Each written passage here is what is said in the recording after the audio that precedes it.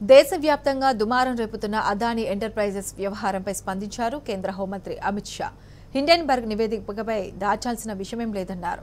National channel ఇంటర్వ్యూలో మాట్లాడిన ఆయన ప్రతిపక్షాల ఆరోపణలో వాస్తవం లేదన్నారు. ఇప్పటికే ఈ వివాదం సుప్రీంకోర్టులో ఉన్నందున తానేమీ మాట్లాడలేనని స్పష్టం చేశారు.